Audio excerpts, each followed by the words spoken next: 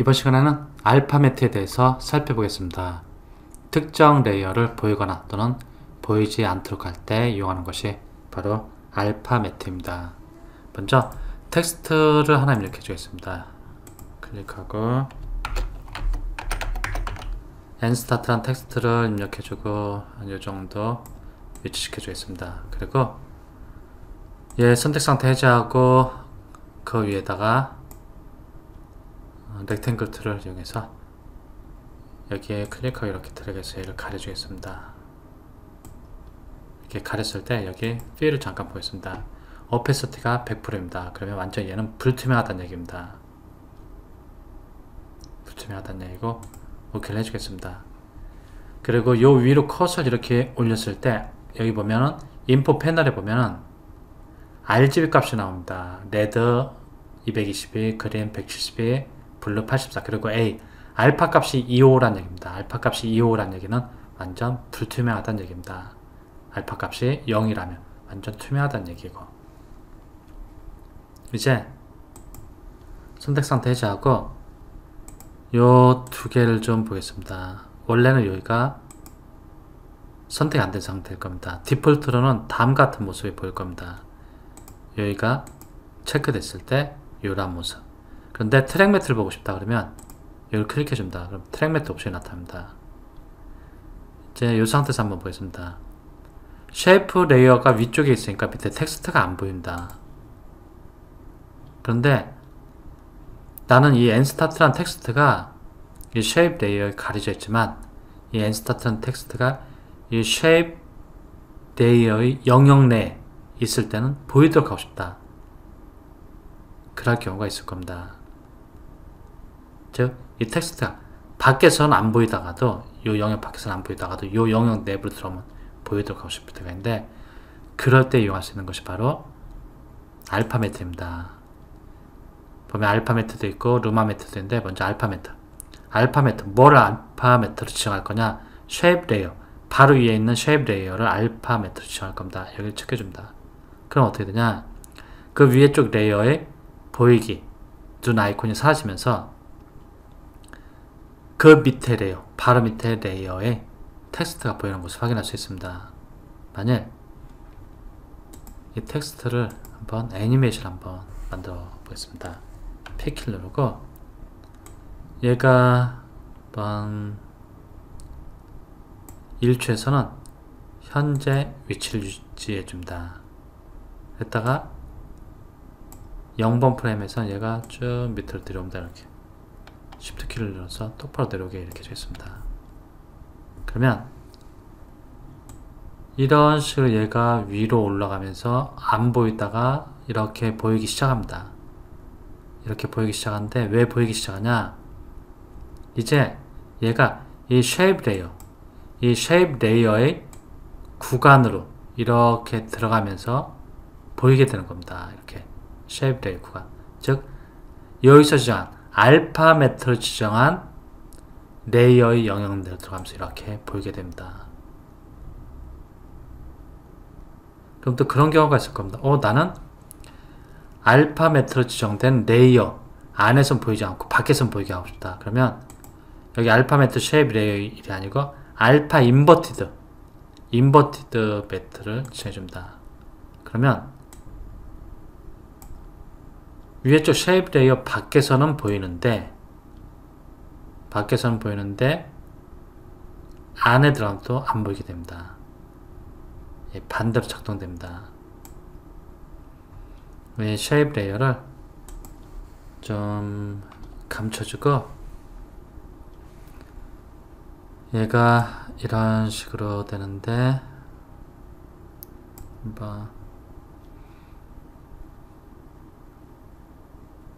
얘도 한번. 복제를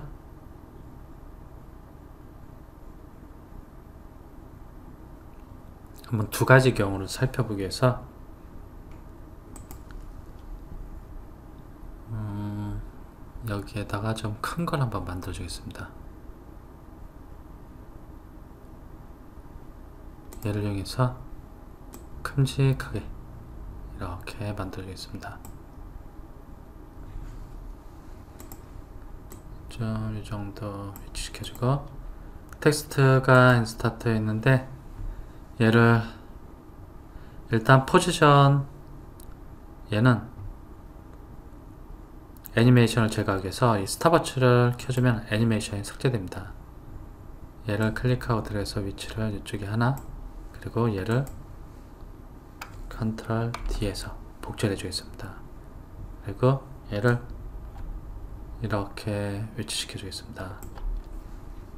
그리고 얘는 색상을 좀 바꿔주겠습니다. 색상을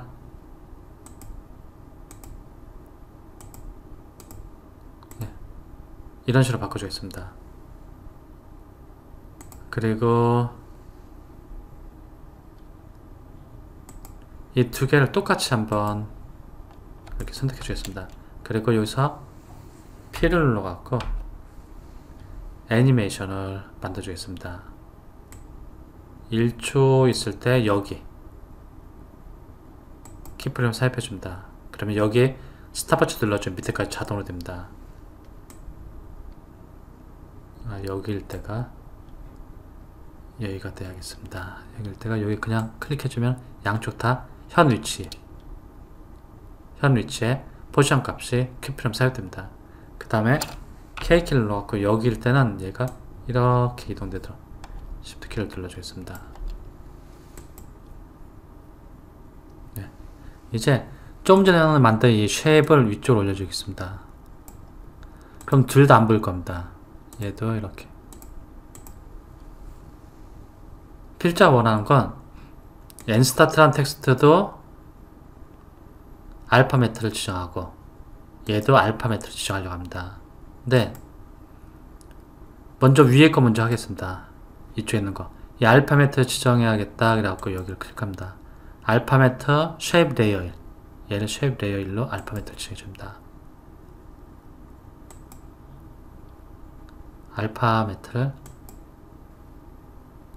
지정하였습니다.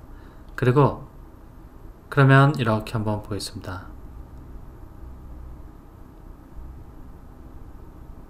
지금 텍스트가 보이지 않는데 다시.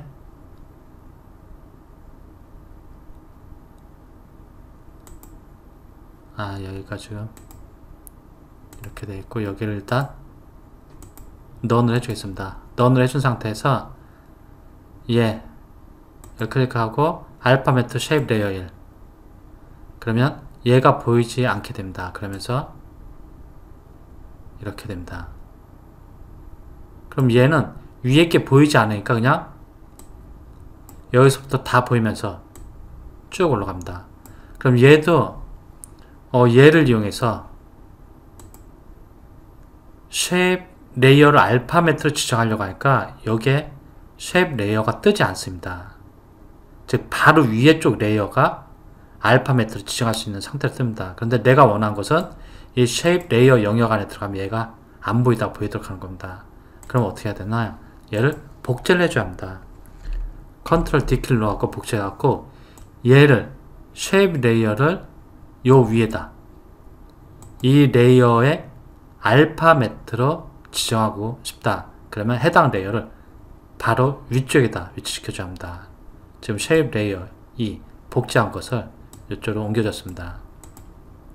이제 이 상태에서 nStart란 텍스트의 alpha matte를 shape layer 2 바로 위에 있는 것을 지정해줍니다. 이제 보면 둘 다 밑에 있을 때는 안 보이다가 위로 쭉 올라오면 보이게 됩니다. 저 얘를 선택하고서 한번 보겠습니다. 얘든 컨트롤 키를 누르고 두 개를 한번 선택해 보겠습니다. 복제한 거니까 똑같은 위치에 존재합니다. 이렇게 이런 식으로 이렇게 나타난 것을 확인할 수 있습니다. 중요한 거는 특정 layer를 현재 layer의 alpha matte를 사용하고 싶다. 그러면 alpha matte를 사용하고 싶은 layer가 현재 layer의 바로 위쪽에 존재해야 합니다. 그래야만이 내가 원하는 alpha matte로 지정해 줄 수 있습니다. 그리고 특정 layer가 alpha matte로 지정되면 이렇게 눈 아이콘이 사라지면서 보이지 않는 오브젝트로 바뀌게 됩니다. 그러면서 이제 alpha matte를 사용하고 있는 layer들이 alpha matte 영역으로 들어가면 이렇게 보이는 것을 확인할 수 있습니다. 여기서 한 가지 더 살펴볼 것인데 이 shape layer 이쪽하고 여기도 shape layer 똑같습니다. 이 shape layer 선택하고 이쪽으로 fill로 가보겠습니다. 얘가 이쪽입니다. 이쪽에 영향을 주는 건데 이 opacity를 한번 좀 떨어뜨려 보겠습니다. 즉 알파 값이 점점 투명해질수록 텍스트가 흐릿하게 보이는 것을 확인할 수 있습니다.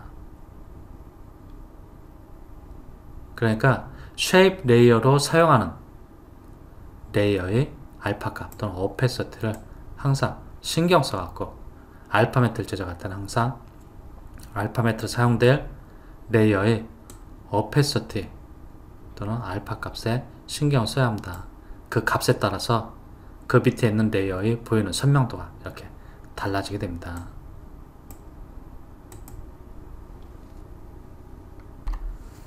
여기서 한번 스페이스바를 눌러보겠습니다. 그럼 이런 식으로 나타납니다.